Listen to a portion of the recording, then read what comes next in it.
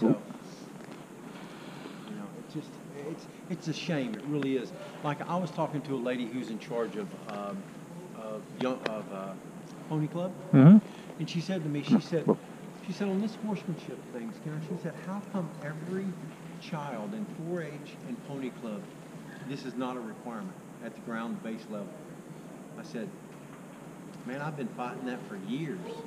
That everybody, I will, buddy. said, you know, the scary thing is, is nobody who first buys their first horse or gets a first horse has any idea how the horse's vertebrae work, how the feet work, how the shoulders are. If I were to say to you, where is the first rib located on the horse?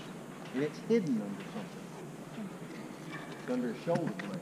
Most people don't realize that. How many vertebrae does a horse have? Yeah. 18. Oh, no, vertebrae. It's, how many? Here's the thing, how many cylinders does your truck have?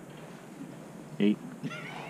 Yeah, you can, uh, you don't even have to think about that. You know, it's like, it's common knowledge. Where does the oil go? Honestly, where's the gas go? Where does the tires go? Where's the blinker?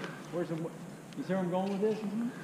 If you were to ask somebody, people have no knowledge of the basic tran mode of transportation that you're choosing to get on and keep them safe. Right, right, right, right, and how it works. So that's what I said. I say if you could do, if I told you you could do 30 days of ground work working with a horse twice a day, and it would make the difference between that horse being okay sometimes he only bucks every once in a while to absolutely would never ever buck. Which one are you going to choose? People are like, well, I don't want to hit the ground.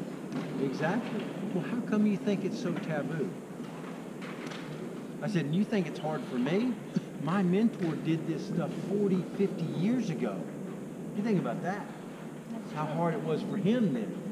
You know, you look at people. You- People looked at him like he had two heads. Yeah, exactly right. Great you know, yeah, you know, and people are like, that's not that nonsense.